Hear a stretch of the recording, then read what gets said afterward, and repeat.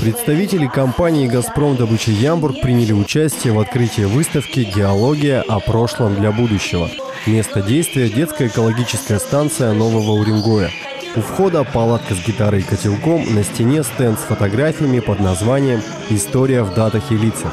В следующем зале палеонтологическая экспозиция и коллекция минералов.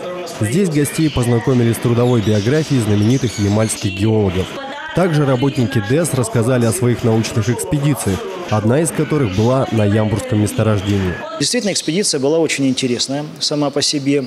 Она дала очень много материала. Материал тот, который был представлен детьми на конкурсе имени Владимира Ивановича Вернадского. Одна из этих работ по орнитофауне поселка а, Ямбург и его окрестностей была как раз представлена там и стала лауреатом.